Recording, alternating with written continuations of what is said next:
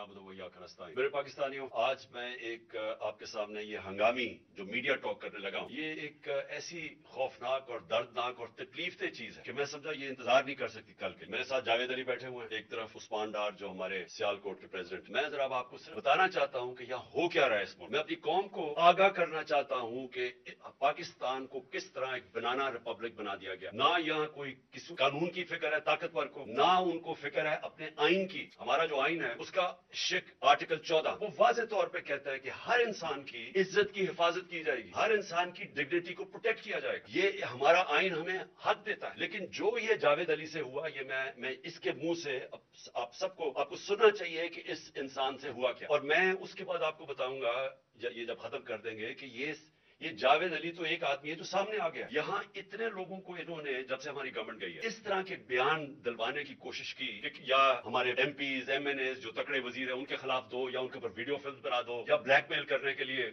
उनकी कोई audio tapes कर दो, या उनके ऊपर कोई करप्शन के केसेस बना दो ब्लैकमेल करने के लिए। सिर्फ़ एक इनका मकसद, कि किसी तरह तहरीक इंसाफ और इमरान खान को कमज़ोर करके इन चोरों को फिर से इलेक्शन जिता दिया जाए। अब मैं जावेद अली की इंट्रोडक्शन करवा दूँ। इनको उस्मान डार ने जो क्लास फोर होती है जो जो क्लास चार की नौकरी होती है वो नौकरी दलवाई सियाल को ये खुद बताएँगे कि इनकी नौकरी एक चौकीदार चौकीदार थे? जी चौकीदार। चौकीदार की नौकरी। इनको उठाया गया पुलिस ने उठाया और उसके बाद नामालूम अफराद ने उठाया और अब इनसे पूछे इनकी जबानी पूछे कि इनसे किया क्या गया? फिर मैं वापस आता हूँ आपके पास। बोलो जावेद।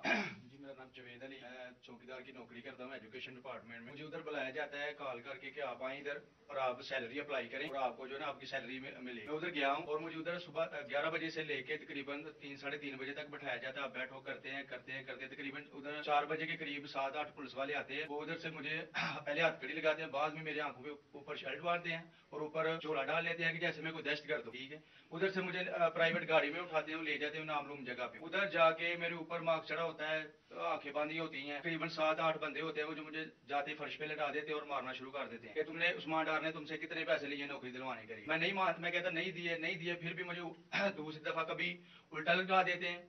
कि मानो तुमने उस्मान डार को पैसे दिए कॉन्ट्रैक्ट से लेके पैसे दिए जब नहीं मानता, तब भी मुझे कभी सीधा लटका देते हैं, कभी उल्टा लटका देते हैं। और बाद में जब मेरे मसलन के कभी ईंट ले उधर से ईंट उठाते हैं उसे धागे से धागे मेरे नाजक हिस्सों में बाँध देते हैं कि मानो कमेंट मानो तुम कॉन्ट्रैक्ट पैसे लेके उस माडार को देते हो। कपड़े उतारते हैं बताओ। बाद में मुझे नंगा करते हैं कपड़े उतारते हैं। कपड़े उतार के उधर फर्श पे बैठा देते हैं कि मानो तुमने उस माडार को पैसे दिए जब नहीं मानता तो फिर उधर से कहते हैं कि डाला भेजो, इसकी बीवी को उठाओ, इसके बच्चे को उठाओ और इधर उसको लाकर, उसको बरहना करो, उसकी वीडियो बनाओ, फेसबुक पे डालो और ब्लैकमेल करो। तब उधर से जाके जब मेरी फैमिली आई, तब मैं उधर से टूटा, उनके आगे रोया कि अब आप बताएँ कि मैंने क्या करना है। उसने कहा कि आप एक सौ चौंतीस के बयान दिए और ये कमेंट कह रहे हैं कि आपने ये पैसे ठेकेदारों से लेके उस्मान डार को ये बताएँ आपके कोई, ये सब चुप हो जाते थे जब कोई आता था एक आदमी। जब मेरी तो आँखें बांधी होती थी कि उस वक्त जब कोई आता था उधर कोई अफसर आता था ये कहते थे कि साहब बड़े साहब आ गए हैं बड़े साहब आ गए हैं और सब साइलेंट हो जाते थे। जब वो आता था सब साइलेंट था अब ठीक है ठीक है लगे रहो करे करते जाओ लगे रहो ये बात। मैं अब आपके सामने ये जो जावेद अली ने बात रखी ये हर तरह हम कंफर्म कर सकते हैं। कुरान के ऊपर हाथ रखने के लिए मेरे सामने तैयार थे। ये उस्मान डार को फंसाने के लिए इसको करप्शन केसेस में लाने के लिए ये सारी चीज़, ये जो इससे एक का बयान दिलवाया गया और फिर बीवी बच्चों को साथ वाले कमरे में ला के इनको कहा कि उसको नंगा करेंगे, ये सीधी बात बताए। बीवी को कहा कि उसको नंगा करके उसकी तस्वीरें बनाएँगे और फिर फेसबुक पे चलाएँगे। मैं आज अपनी बड़े रिस्पेक्ट से, मैं अपनी अदलिया से, मैं अपनी चीफ जस्टिस साहब से कहना चाहता हूँ। देखें, मैं अब से नहीं, जब से हमारी हुकूमत गई है, मैं तब से कहता रहा हूँ कि हमारे बुनियादी हकूक की हिफाजत कौन करेगा? शबाज गिल को उठाया, उसको टॉर्चर किया गया, उसको नंगा किया गया, उसको लटकाया गया ऊपर, उसको मारा गया, उससे बयान दिलवा रहे थे कि इमरान खान के खिलाफ स्टेटमेंट दो।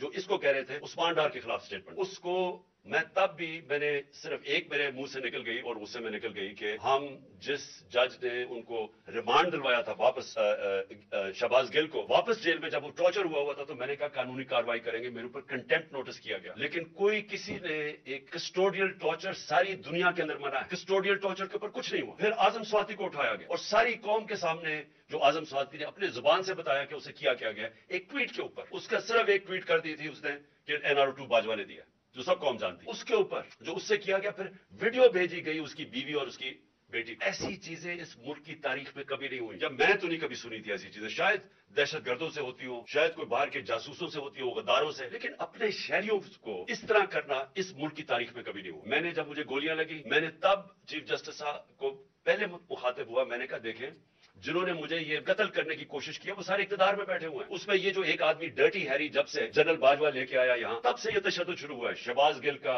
आज़म स्वाति का, मुझे गोलियाँ लगी। ये जो ये जो दास्तान आप सुन रहे हैं, सोशल मीडिया के बच्चों से पूछे, जब से ये आदमी आया, उनसे उठ के क्या हुआ?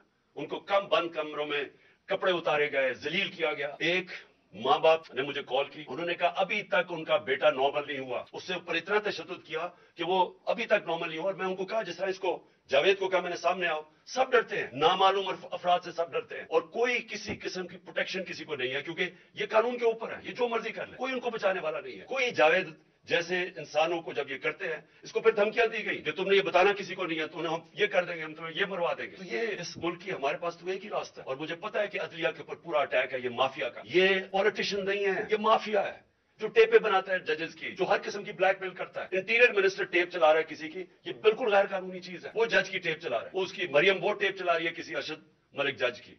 कभी साकिब निसार की टेप चल रही है। ये किसी महजब माशरे में ये चीज़ें नहीं होती। ये कंट्रोल के लिए, अदिया को कंट्रोल के लिए। सिर्फ़ ये सारे हरबे इस्तेमाल किए जा रहे हैं। मैं आज इस प्लेटफॉर्म से अपने चीफ जस्टिस और अपनी हायर जुडिशरी को, उम्मीद तो सिर्फ़ आपसे रह गई है। इस वक्त जो जिस तरह का जुल्म किया जा रहा है, ये नामालूम अफराद जो कर रहे हैं इस मुल्क के साथ, और खास तौर पर जो डर्टी हैरिया है मेरी सारी इन्होंने, ये कैसे हो सकता है? कि मेरी जो सारी जेआईटी की रिपोर्ट थी, जो उन्होंने फोरेंसिक एविडेंस जमा की हुई थी, वो सारी खत्म कर दी है। उन चार ऑफिसर्स को फिर ऊपर बैठा दिया जिनके ऊपर प्रोसिक्यूटर जनरल ने कहा था कि इन्होंने मेरी जेआईटी की एविडेंस सेबोटाज करने की कोशिश की। उसने टेररिज्म कोर्ट को बताया ये। उनको वापस लाके ऊपर बैठा दिया। यानी उससे इंसाफ मिलेगा।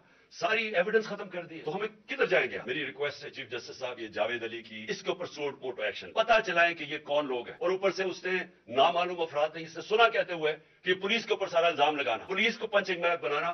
और कुछ ना कहना, नहीं तो आप तुम्हें ये कर देंगे, मार देंगे। देखिए जी, वक्त आ गया है। मैं अपनी जुडिशरी से ये कहना चाहता हूँ कि ये जो भी आप पे, आपका सबसे बड़ी जुडिशरी की सबसे बड़ी जिम्मेदार, ज़िम्मेदारी हमारे बुनियादी हकूक की हिफाजत करना। यहाँ जिस तरह ये रजीम चेंज के बाद जिस तरह बुनियादी हकूक खत्म किए गए हैं, लोगों को लावारिस छोड़ दिया है, समझ नहीं है लोग जाए किधर इंसाफ के लिए। हमने पुरमन एहतजाज, एक पुरमन एहतजाज जेल भरो तहरीक शुरू की जो लोगों को उठा उठा के लेके जा रहे हैं, उनको उनको कपड़े नहीं दे रहे हैं, उनको दूर दूर ले गए हैं, किसी को अटक डराने धमकाने से, खौफ फैला रहे हैं। एक तरफ़ एक पूरा मैंने तजाज था कि मुल्क में नुकसान ना पहुँचे।